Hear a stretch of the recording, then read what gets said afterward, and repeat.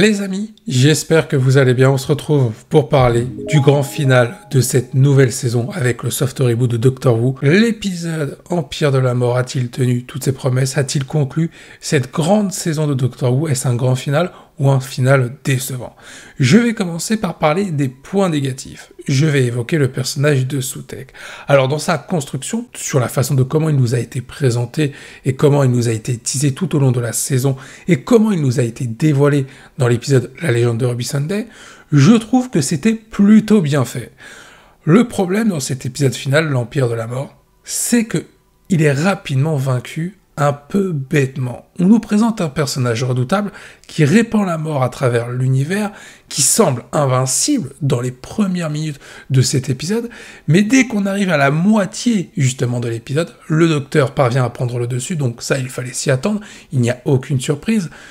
Mais il ne fait rien, Soutek, pour y poster. On voit le docteur en train d'agir, en train de mettre en place son plan. Soutek ne fait rien pour l'en empêcher. Et même quand il se fait attraper par la corde avec Ruby et le docteur, il a l'occasion d'envoyer ses gardiens de la mort, ses anges de la mort, attaquer Ruby ou le docteur ou les deux, mais il ne fait rien, il ne donne aucun ordre, il ne bouge même pas, il attend d'être dans le vortex, d'être au moment où le docteur est sur le point de le lâcher, de l'éliminer littéralement, pour commencer à bouger, sauf que c'est trop tard. Alors je comprends que dans la résolution, il faut mettre en avant le duo Ruby et le docteur et montrer la victoire totale du docteur face à Soutek, un docteur qui sauve l'univers, qui ramène la vie l'univers, mais je pense qu'il aurait été intéressant de donner plus de complexité dans cette tâche pour le docteur. Là, on a l'impression qu'on a un Soutek qui est arrivé en mode invincible, et plus l'épisode avançait, et plus Soutek était de moins en moins redoutable. On sentait clairement que le docteur allait gagner. Alors ça, c'est évident, il faut un happy end pour cette histoire, pour cette intrigue mais on aurait pu quand même faire un chemin beaucoup plus difficile et non quelque chose de donné directement pour le docteur et Ruby. J'ai un autre souci, alors là c'est pas vraiment sur l'épisode, alors ça comprend l'épisode mais ça comprend sur l'entièreté de la saison. Soutek, vu comment il nous a été teasé, il est censé représenter le personnage le plus redoutable de cette fin de saison, un antagoniste qui représente la dangerosité incarnée et j'ai même envie de dire la mort incarnée.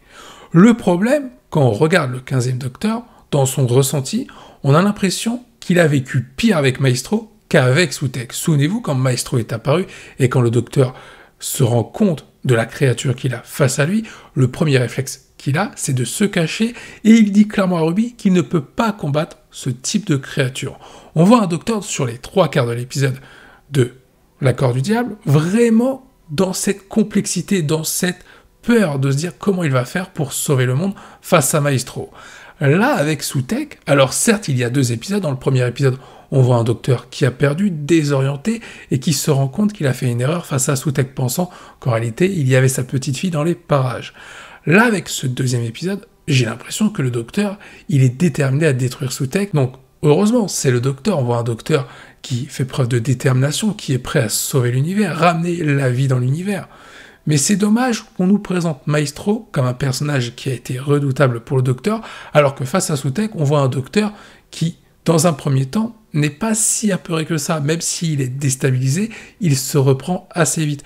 Je ne sais pas si vous voyez où je veux en venir, mais je trouve que la dangerosité qui nous a été montrée avec Soutek est inférieure par rapport à ce qui nous a été montré avec Maestro. Je vais appuyer mon propos lorsqu'on nous a présenté le Toymaker, le retour du Toymaker face au 14e Docteur, le 14e, on sentait clairement qu'il était déboussolé.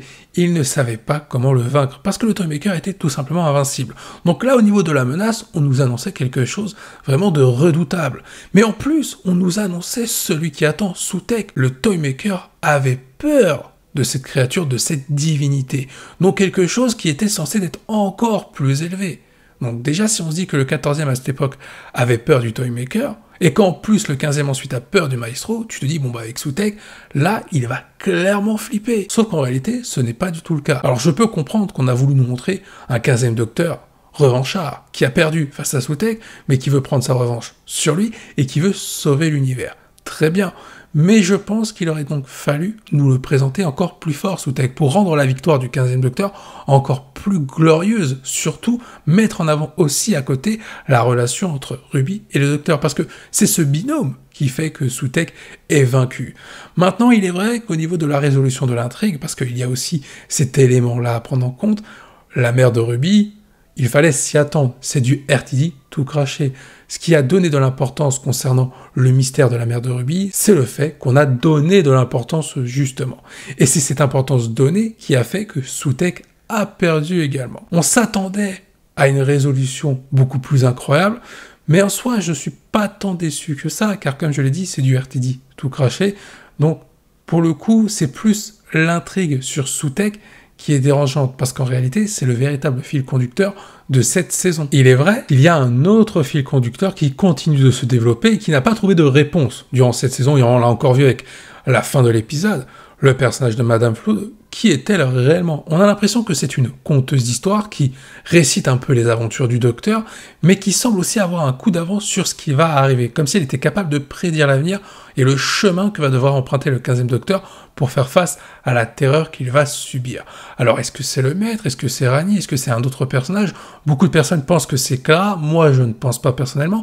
Je pense que ça peut être un personnage qui intègre différentes histoires pour pouvoir nous les raconter et qui peut représenter une véritable menace. Alors, est-ce que cette menace, ou même que ce personnage va continuer d'être développé dans la saison 2 Pour moi, ça me paraît évident. La vraie question, c'est de savoir est-ce que justement, dans l'intention de RTD, par rapport aux informations qu'il nous a communiquées, est-ce que le personnage de Madame Flood va être un fil conducteur sur deux saisons, ou est-ce que ça va être un fil conducteur en trois chapitres avec trois saisons? On peut se poser la question. Pour moi, je pense que Madame Flood pourrait être un personnage qui va déclencher une menace bien plus importante, ou nous prédire justement une menace qui va être redoutable pour le docteur. Un peu à l'époque avec le dixième docteur par rapport à l'arrivée du maître. Parlons d'un autre point négatif. C'est l'absence du quatorzième docteur. Alors, évidemment, il fallait pas s'attendre à son retour et qu'il vole la vedette au quinzième docteur et notamment que David Tennant prenne la lumière par rapport à Tsutigatoa. Le truc, c'est que par rapport à la menace, par rapport à ce qui nous est montré dans ce début d'épisode, c'est totalement incohérent que le 14e Docteur ne se montre pas ou qu'il ne soit même pas mentionné. On aurait pu avoir un caméo, on aurait pu voir le 14e en train de voir ce qui se passait avec ce nuage qui répandait la mort, essayant de prévenir Donna en disant qu'il doit vite monter dans le Tardis, et à ce moment-là, le 14e Docteur n'aurait pas pu utiliser le Tardis parce qu'il y a quelque chose qui bloque, quelque chose qui est en rapport avec Soutek. Donc là, le 14e était condamné. À ce moment-là, on aurait pu avoir une phrase du 14e disant que il a confiance en son futur et que le 15e va résoudre tout ce qui va se passer. Là, tu mettais un petit caméo du 14e Docteur, ce qui était sympa, et tu mettais en avant aussi le rôle de Souticatoire en tant que 15e Docteur. Autre point aussi qui est embêtant, on nous présente un 15e Docteur, s'il meurt par rapport à la menace de Soutek, il risque d'y avoir un véritable cataclysme. Problème, sur Terre, il y a le 14e Docteur avec Donna. Si le 14e était mort, il y a deux soucis qui se présentent. Bah, normalement, il aurait dû y avoir un cataclysme, parce que c'est un seigneur du temps, tout comme le 15e, c'est logique. Deuxième problème, si le 14e il meurt, si on prend en compte ce qui nous a été confirmé, expliqué dans la chronologie d'un seigneur du temps, comme quoi le 14e vient avant le 15e, ça encore une fois, c'est logique. Si le 14e il meurt, ça veut dire que le 15e est censé mourir aussi. Comment ça se passe exactement cette situation-là? Pour moi, là, on arrive vraiment sur un cas de figure où la bigénération pose un véritable problème.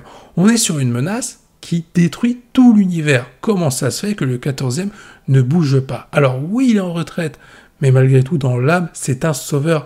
Il veut sauver l'univers, il veut sauver tout le monde. On aurait pu au moins le voir en train d'essayer de sauver Donna. Pour moi, c'est un vrai défaut à l'épisode. Il y a un caméo qui manque. De plus, je vais insister là-dessus, mais vous allez comprendre qu'il y a un problème dans la continuité de cette histoire. Lorsque le 15e, Ruby et Mel sont obligés de fuir face au souffle de la mort de Soutek, ils sont obligés de prendre la mémoire du Tardis. Un Tardis qui est basé uniquement sur la mémoire de ce qu'a vécu le Tardis avec le docteur. Vous m'avez compris. À ce moment-là, on a des easter eggs plutôt sympas, et ça, faut le dire. Mais on voit que ce Tardis peut sauter à tout moment, exploser en vol, comme le dit le 15e. Il a besoin d'une cuillère, du métal, pour pouvoir faire fonctionner le Tardis et se stabiliser. Le truc, c'est pourquoi le 15e, il n'a jamais l'idée d'aller chercher le Tardis du 14e Docteur pour pouvoir avoir un Tardis déjà beaucoup plus sûr et faire face à Soutek. J'aurais aimé une explication. Maintenant, on va parler des points positifs de cet épisode. Et pour moi, Soutigatois, c'est le Docteur. Il est le 15e. Quelle interprétation qu'il nous a fait encore dans cet épisode. Il maîtrise toutes les émotions, que ce soit dans la joute verbale, que ce soit dans les expressions, dans ses actions. il m'a donné le frisson dans cet épisode. Il a des scènes iconiques, il faut le dire. Quand il fait son monologue face à Soutek en disant que la mort rencontre la mort et c'est de là que naît la vie, mais ce monologue, il est banger. Soutigatoire, il nous donne de l'émotion, il y a du frisson à ce moment-là. Quand il y a ces adieux, ces au revoir plutôt entre Ruby et le docteur, on voit un docteur qui essaye de garder la face, une Ruby qui avoue qu'elle l'aime, alors évidemment c'est en amitié, un docteur qui ne veut pas exprimer ses émotions parce qu'il sait qu'il a perdu beaucoup de compagnons, mais on le sait qu'il ressent la même chose pour Ruby. Et quand Ruby s'en va du Tardis, on voit un docteur qui pleure, qui est ému, mais là t'as envie de lâcher une larme, t'es vraiment pas bien, tu te dis mais oui, la Ruby va retrouver sa famille, elle a retrouvé sa mère, mais le docteur, il se retrouve tout seul, il a tout perdu, il n'a personne à retrouver. Et je trouve que cette atmosphère, avec les musiques, nous montre que le docteur, il a une histoire qui est vraiment triste. Il rencontre des personnes incroyables, il les a perdues pour la plupart, et en plus de ça, désormais, il est tout seul. Et c'est ça qui est triste. Et Soutigatoire a parfaitement interprété cette émotion à travers l'écran. Et c'était topissime. Tout au long de la saison, et ça s'est très bien retranscrit avec cet épisode final, il y a une parfaite osmose avec Ruby et le docteur. Et ça permet de mettre en avant les personnages individuellement, tout en mettant en avant le collectif, le binôme. Et ça rend encore plus triste, encore plus joyeux l'histoire de Ruby et plus triste l'histoire du docteur. Néanmoins, j'ai un petit bémol, c'est pas un point négatif, mais c'est quelque chose qui aurait pu être encore mieux concernant le développement des personnages, c'est que on a eu que très peu d'aventures avec Ruby et le docteur, très peu d'action avec ces deux personnages. Alors, on voit qu'à la fin de l'épisode, il y a une vraie amitié, et ça, on le voit clairement à travers l'écran mais on ne l'a pas assez vu. Et c'est dommage. Surtout que là, on nous présente des au revoir entre Ruby et le docteur. Visiblement, Ruby ne sera plus une compagne pour le docteur par rapport au Tardis, par rapport à ses voyages. Alors dans la deuxième saison, on sait que Ruby va revenir, d'ailleurs il y a eu un clip qui nous a été dévoilé, on voit Ruby. Donc le docteur et Ruby vont être amenés à se revoir. Mais je pense qu'elle ne fera plus partie des personnages principaux de la saison 2. J'espère qu'on aura peut-être le droit à voir quelque chose, une suite d'histoires, parce que RTD nous a dit que l'histoire de Ruby n'était pas totalement terminée. J'espère quand même qu'on aura le droit à quelque chose qui va permettre de mettre encore un petit peu plus en avant la relation entre le docteur et Ruby. Même si je pense que ce sera au second plan. On a loupé quelque chose avec cette saison, mais le reste est vraiment très positif. En tout cas, pour moi, cet épisode, même s'il y a des petits points négatifs, il est positif, les musiques sont top, il y a des remixes de musique qu'on connaissait à l'époque, donc on a une petite touche de nostalgie qui s'ajoute à l'épisode. Quand le docteur se retrouve face à Soutek à travers le vortex dans son Tardis, c'est quelque chose qui est super beau à voir, c'est incroyable, la scène est folle.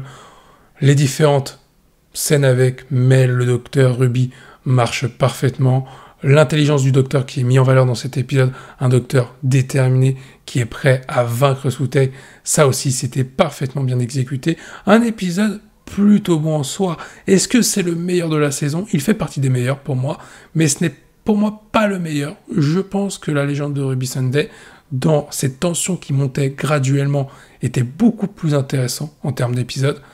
Cet épisode-là, je trouve où ça a un peu pêché, c'est sur la vitesse d'exécution du scénario. En 30 minutes, l'intrigue de Soutek était déjà résolue. Je pense qu'il aurait fallu plutôt un final en trois parties et non en deux parties, avec une première partie où le docteur est déjoué par Soutek, une deuxième partie où vraiment la mort est répandue dans l'univers et le docteur ne sait pas quoi faire, et peut-être qu'à la toute fin de cette seconde partie, t'avais un brin d'espoir qui souriait au docteur, et un docteur qui était prêt à agir pour vaincre Soutek. Et troisième partie, tu as amené la résolution. Là, je trouve, surtout avec cet épisode, qui est donc la conclusion d'une partie finale en deux parties, je trouve que franchement le scénario a été un petit peu bâché, bâclé sur la moitié de cet épisode. Et c'est dommage, parce qu'on aurait pu mettre en avant encore plus la menace de Soutek et mettre en avant encore plus ce qu'est capable de faire le 15e Docteur avec en binôme le personnage de Ruby. Sur ce, je vous invite à donner votre avis en commentaire. Qu'avez-vous pensé de cet épisode final? N'hésitez pas à me donner votre avis. Je vous dis à la prochaine, portez-vous bien et n'oubliez pas que la volonté du KT soit avec vous. J'espère que tu as apprécié cette vidéo. N'hésite pas à liker pour me soutenir et à t'abonner pour ne rien manquer sur ma chaîne YouTube.